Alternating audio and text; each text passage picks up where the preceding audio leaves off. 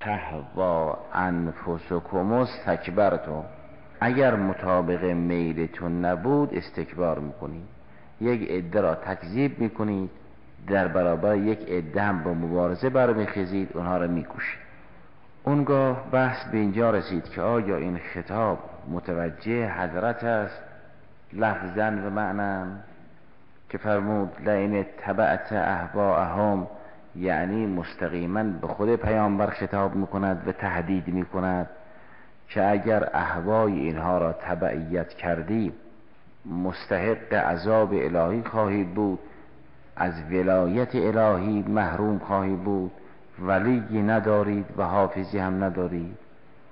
یا خطاب ولعین تبعت احواهم گرچه لفظا متوجه حضرت است از باب ایا که اعنی و متوجه امت خواهد که مرحوم امین الاسلام احتمال دادن. آیات قرآن کریم در این مورد دو طایفه است. یک سلسله از آیات می‌گوید اگر تبعیت کردید از نصرت الهی محرومید و مانند که این سلسله از آیات ابا ندارد که هم بشود بر تبعیت عملی. این تبعیت عملی ظاهرا خطابش متوجه حضرت است معنای این خطاب متوجه امت است که تهدید می کند اما طایفه دیگر از آیات لسانش آن است که اگر پیشنهاد اینها را در تغییر مواد قانونی پذیرفتید به حرف اینها گرایش پیدا کردید گرفتار عذاب الهی خواهی شد. این خطاب لفظا و معنا متوجه حضرت است. این را نمی شود گفت از باب ایا که اعنی و نازل شده.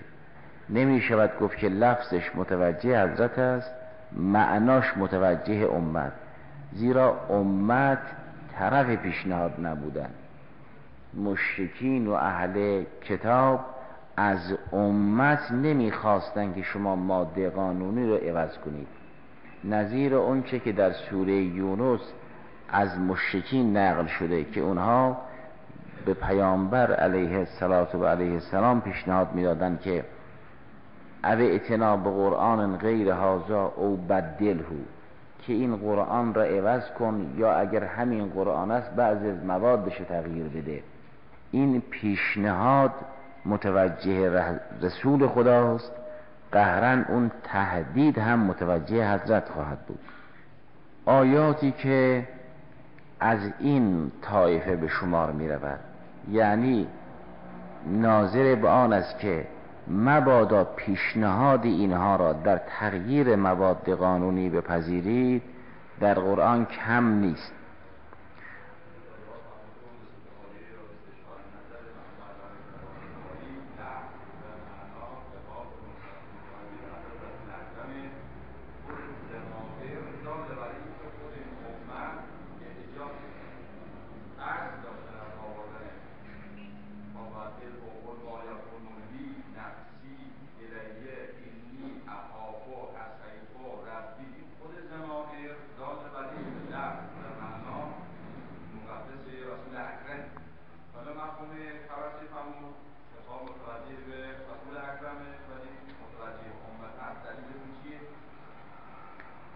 در آیه محل بحث سوره رد فرمودن دیگه که لعین تبعت احواهم. اونجا که در سوره یونس بود که همچه بیان نداشتن که اونجا خطاب نیست.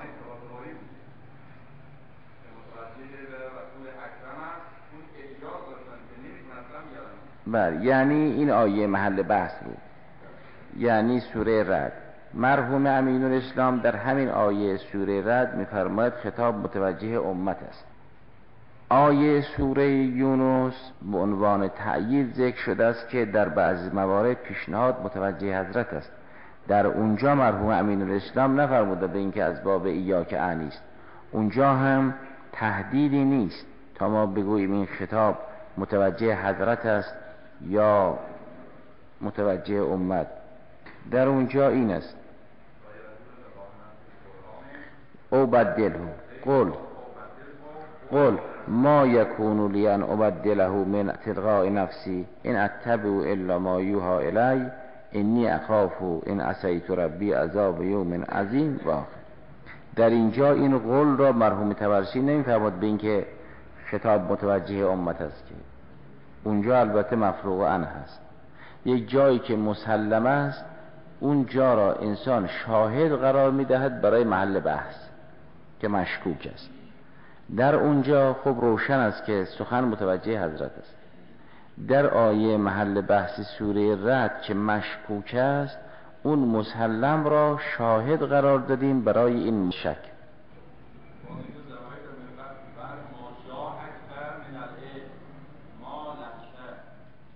بله اینها دارد یعنی بعض اینکه حق برای شما روشن شد می شود که خطاب.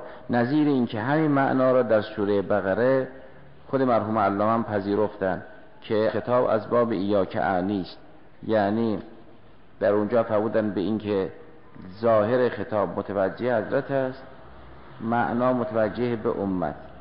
در همون سوره بقره آیه 120 این بود. ولن ترزا عنکل یهود ولن نصارا حتی تتبع ملتهم. قل ان هدى الله هو الهدى ولئن تبعت اهواءكم بعد الذي جاءك من العلم ما لك من الله من ولی و نصیر اونجا را مرحوم علامه قبول کردن به اینکه خطاب متوجه امت است. با اینکه بعد الذی جاءک من العلم دارد.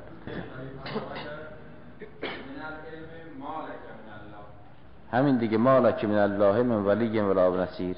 مشابه اونچه که در همین سوره رد آمده تقریبا. در سوره رد هم همین است. اینجا هم بعد ما جا من العلم مالک من الله من ولی.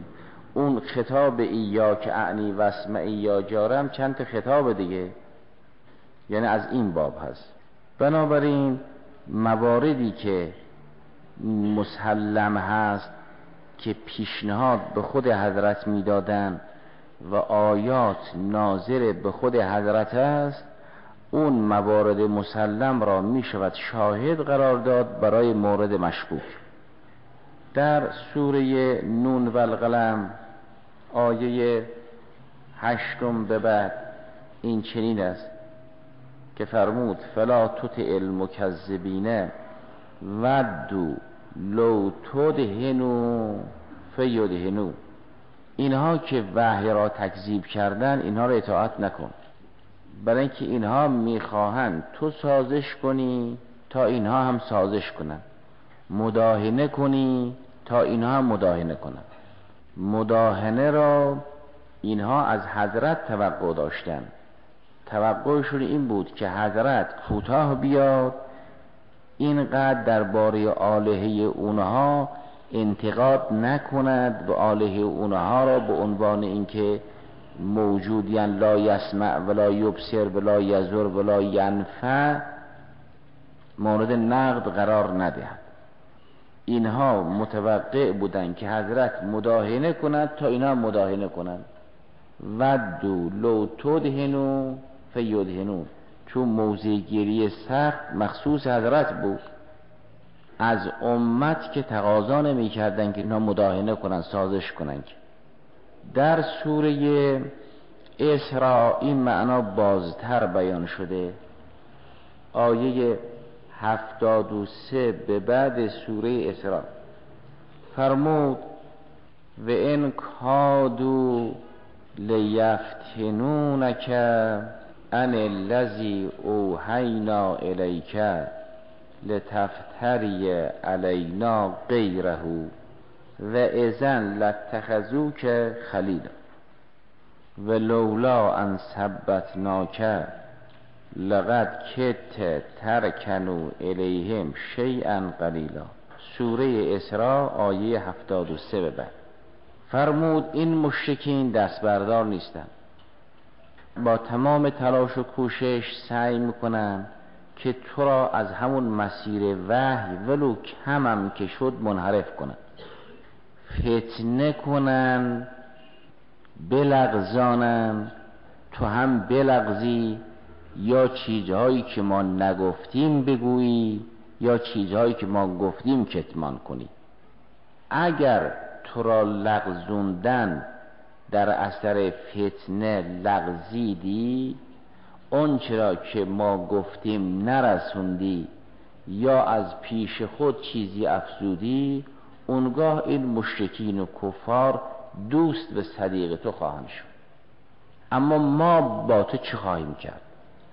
تو اگر وحی را کم و زیاد کنی به میل اینها بلغزی اینها دوست تو خواهند شد. و اما ما نسبت به تو چه می‌کنیم؟ و اگر چنونچه استقامت کردی این وحی را کما و حقه رسوندی اونها هر چه بکنن گرفتار انتقام ما خواهند شد. این در حد تهدید و وعید. اما چی شد آیا رسول خدا به میل اونها عمل کرد و لغزید؟ یا به اسمت الهی محفوظ مون این رو هم این بخش از آیات مبسوطا بیان می‌کنن هم دسیسه و توطعه کفار رو بیان می‌کنن هم نقشه اونها که اگر حضرت معاذ الله به لغزت بعدا دوست حضرت می‌شوند بیان می‌کنن و هم تهدید سخت الهی را در هنگام لغزش حضرت بیان می‌کنند و هم نتیجه پایداری حضرت را بیان می‌کنند و هم کیفر تلقی که خدای سبحان به کفار در صورت استقامت پیغمبر و تهاجم اونها دامنگیر اونها می شود بیان می‌کنند اینها را به عنوان تئوری و قضایای کلی ذکر می‌کنند اما در این صحنه چی واقع شد؟ آیا حضرت گرایش پیدا کرد؟ یا نه به خواسته اونها عمل کرد یا نه. میل قلبی حضرت متوجه اونها شد یا نه. نزدیک شد که میل پیدا کند یا نه. همه اینها رو قرآن در این بخش از آیات بیان کرد و نفی کرد. فرمود نه تنها رسول خدا پیشنهاد اونها را اجابت نکرد. یک نه تنها میل به انجام پیشنهاد اونها پیدا نکرد دو نه پیشنهاد اونها را اجابت کرد نه علاقه نشون داد که پیشنهاد اونها را اجابت کنند دو آیا نزدیک بود که علاقه نشون بدهد یا نه؟ این رو هم نفی می‌کند. سه و این میشه قلب سلیم. قلبی که پیشنهاد باطل را اجابت نمی کند اولا میل به اجابت هم ندارد ثانیا نزدیک به این گرایش هم نیست سالسا این میشه قلب سلیم.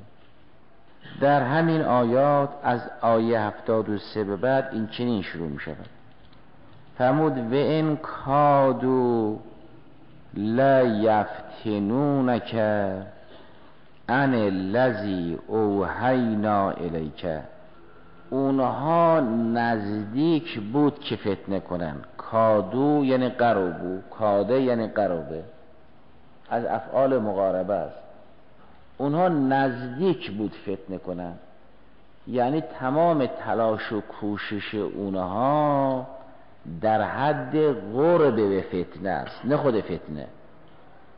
نتونستن فتنه کنن نه اینکه اونها نزدیک شدن که توطعه کنن. اونها شبان روز تلاش کردن که فتنه کنن. اما از نظر تأثیر نزدیک بود که فتنه کنن. و این کادو لیفتنونک یعنی یزلونک ذلت یعنی لغزش. می‌گوین این از مزال اقدام است یعنی جاهایی است که پاها میلغزن فازل لهم الشیطان یعنی لغزوند اینها را. لیفتنونک ان الذی اوحینا الیک از وحیی که ما اون را به طرف تو ایها کردیم. منظورشون این است که لتفتری علینا غیره. غیر وحی را به جای وحی برای مردم بیان کنی. اون چرا که ما نگفتیم بگویی اون چرا که گفتیم کتمان کنی. لتفتری علینا غیره. و ازن اگر به این پیشنهادشون عمل می کردی و پایت می لغزید لتخذو که خلیلا. اونگاه خلیل و صدیق و دوستی تو می شدن که به پیشنهاد اینها عمل کرد و اگر به پیشنهاد اینها عمل نکردی اونها تمام تلاش و کوشششون رو پیاده می‌کنن که تو رو از جا برکنن. یا اعدامت کنن یا تبعیدت کنن از مکه بیرونت کنن. اونگاه ما می‌دانیم و اینها چه بلا به سرشون میاری که اون را در آیه 76 بیان فرمود دو آیه بعد. و این کادو لیستفزونک من الارض. کادو نزدیک بود که تو را از جا بکنن و این کادو لیستفزونک من الارض از جا بکنن که بیرون کنن استفزاز من الارض مقدمه برای اخراج من الارض است. از زمین بکنن که بیرون نتکنن. لیستفزون که من الارض از ارض مکه لیخرجو که منها تا از سرزمین مکه تبعیدت کنن. اگر این کار رو می‌کردن و ازن لا یلبسون خلافک الا قلیلا یه چند لحظه کمی ما به مهلت میدیم. بعد به حیات همه اینها خاتمه خواهیم داد. خلاف یعنی پشت سر تو. یعنی بعد از اینکه تو را تبعید کردن بیش از چند لحظه دوام پیدا نمی کنن که ما همه اینها را به دست حلاک میسپاریم و این سنت الهی است که اگر قومی با پیامبر الهی به ستیز برخیزن خدای سبحان به اینها مهلت ندهد. و ازن لا یلبسون خلافکه یعنی پشت سر تو بعد از تو. الا قلیلا و این سنت الهی است. سنت من قد ارسلنا قبل که من رسولنا. این سنت ماست که در باری انبیاء قبل هم همین کار کردیم. و این سنت هم نه تنها در باری انبیاء قبل شده است اصلا تغییر ناپذیر است این سنت. ولا تجدو سنتنا تحویل خب پس توطعه کفار این بود که حضرت وحی را کم و زیاد کند عوض کند اگر کم و زیاد می‌کرد اونها به حضرت علاقه من می‌شدن دوست حضرت می‌شدن. و اگر نمی کرد به ایستادگی می‌کرد اینها تلاششون این بود که حضرت را از جا بکنند و بیرون کنند. و قهرن مستحق خشم الهی می‌شدن. و این سنت الهی بود. اینها به عنوان قضایای کلی و فرضی که اگر این چنین شد اون چنان می شود اما خب چی شد؟ حضرت پذیرفت یا نپذیرفت در آیه 74 و 75 این است. فرمود و لولا ان ثبتناک لقد کت ترکنو الیهم شیئا قلیلا. ازن لعزقناک زعف الحیات و زعف الممات. ثم لا تجدو لک علینا نصیرا. اما در این جریان چیزی واقع نشد. فرمود اگر تثبیت الهی نمی بود که لولای امتناعی است. اگر تعصیم و حفظ الهی نمی بود و اگر تو معصوم نبودی به اسمت الهی که خدا آسم است به تو معصوم؟ اگر اسمت الهی نمی بود و اگر معصوم بودن و محفوظ بودن تو به حفظ الهی نمی بود در بین این سه امر گرفتار اون سومی می شدی. لولا ان ثبت اگر ما تثبیتت نکرده بودیم ثابتت نگه نمی داشتیم. یعنی ما آسم نبودیم و تو معصوم به اسمت ما نبودی. لقد ترکنو الیهم شیئا قلیلا. اگر اون اسمت نبود نفرمود تو جواب خواسته اونها رو می‌دادی. لعجبت مسئولها. پیشنهاد اینها رو عمل می‌کردی و افترا میبستی که لولا ان ثبت ناکه لفتریت علینا. این چنین نیست که تو افترا میبستی و مسئول اینها را اجابت می‌کرد این نبود. میل به اجابت پیشنهاد اونها هم نداشتی. ولی اگر این تثبیت ما نبود که ترکنو الیهم شیئا قلیلا. خود رکون اون ادنل میل است. اون میل کم را می‌گوین رکنه. وقتی انسان به نحو رقیق به یک سمتی میل پیدا کرد می‌گوین رکنه. رکنه یعنی مال میلن قلیلا. تأکیدن فرمود ترکنو الیهم شیئا قلیلا. اون هم کد ترکنو یعنی کاد ان تکون مائلا نزدیک بود که میل کم پیدا کنی. کاد ان یمیله یعنی نزدیک بود گرایش کم پیدا کند پس این میشه مرحله سوم. این مرحله سوم رو قرآن کریم در اثر اسمت در نفی می‌کند مرحله اول و دوم را به وضوعش واگذار کرد. یک وقت پیشنهاد باطل که به انسان می‌دهند انسان این پیشنهاد را اجابت می‌کند اون کار باطل را انجام میده. این یک کار. این اجابت پیشنهاد است. یک وقت اجابت پیشنهاد نیست. میل دارد که اجابت کند. نه اجابت کرده باشد این دو مرحله. یک وقت از این ضعیفتر نه اجابت می کند و نه میل دارد که اجابت کند. نزدیک است که میل پیدا کند اونم میل کم. این سه مرحله.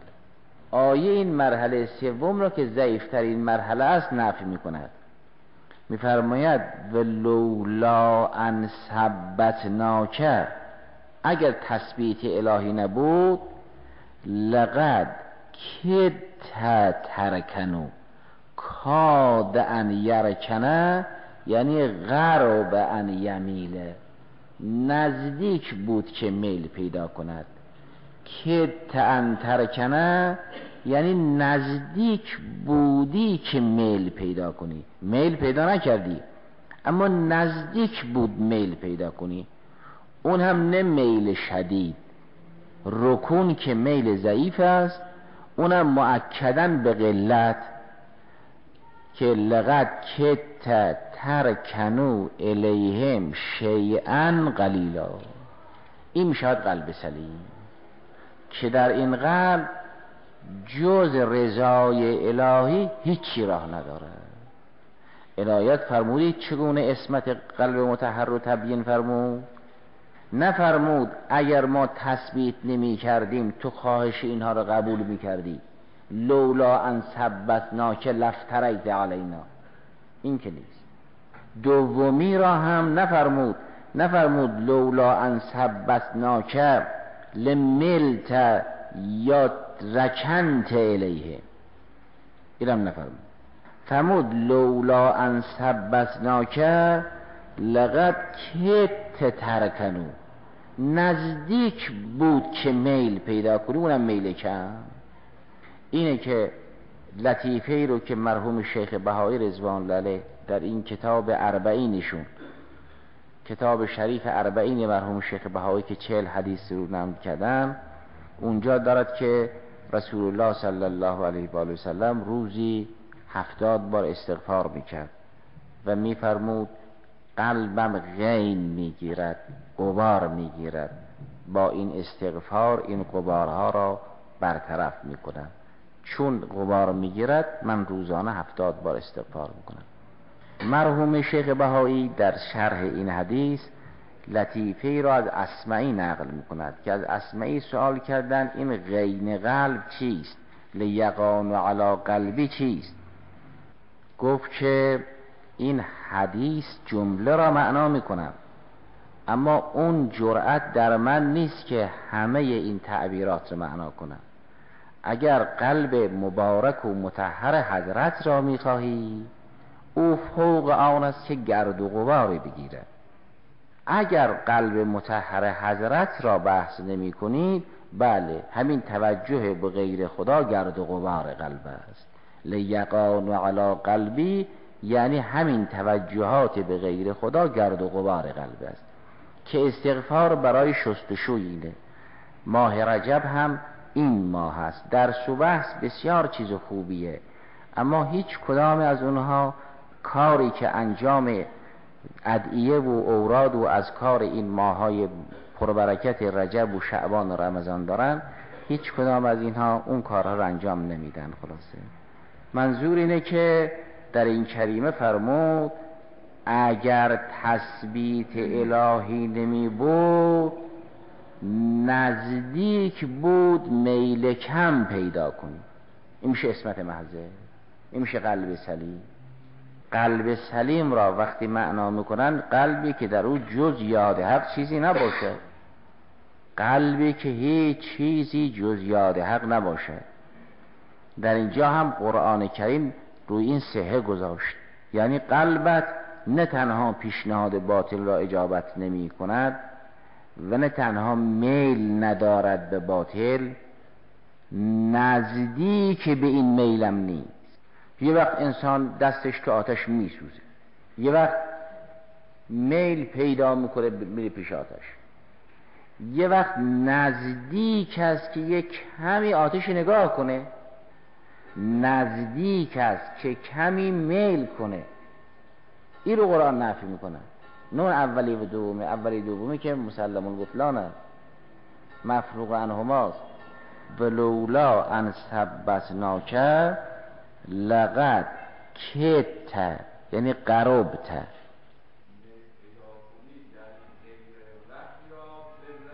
بله دیگه بله کدوم؟ اون که تحلیل شد. اونها می‌گوین به این که اگر این کار کردی بهرن دوستش می‌شود اگر نکردی که در مقابل بعد خدای سبحانم در باری او تو اوائل سوره انفال که خونده شد که اونها به یم کرو به کل لذین کفرو لیقتلو که او یثبتو که او یخرجو که این نقشه ها رو پیاده کردن دیگه. یعنی کفار مکه تلاش کردن که یا حضرت رو بکشن یا بازداشت کنن یا اعدام کنن یا توقیف کنن که خدای سبحان هم اون تهدیدش نسبت به اینها اعمال کرد و اون ازن لا یلبسون خلاف که لا قلیلا. منظور آن است که در این کریمه فرمود اگر تثبیت و اسمت الهی نمی بود نزدیک بود که کمی میل پیدا کنی. رکون ادن المیل است. اون هم معکد به شیئا قلیلاست اون هم مصدر به کاده است کاد کذا که ان ترکنه کاد ان یرکنه یعنی غرب ان یمیله. این میل هم مصدر به کاده است که از افعال مقاربه است هم ملحوق به شیئا قلیلاست. که نشانه قلت است و هم خود پیکره کلمه رکون ادن المیل را میفهماند. پس ادن المیل هم نبود غربه به ادن المیل هم نبود و این میشه قلب سلیم. والحمد لله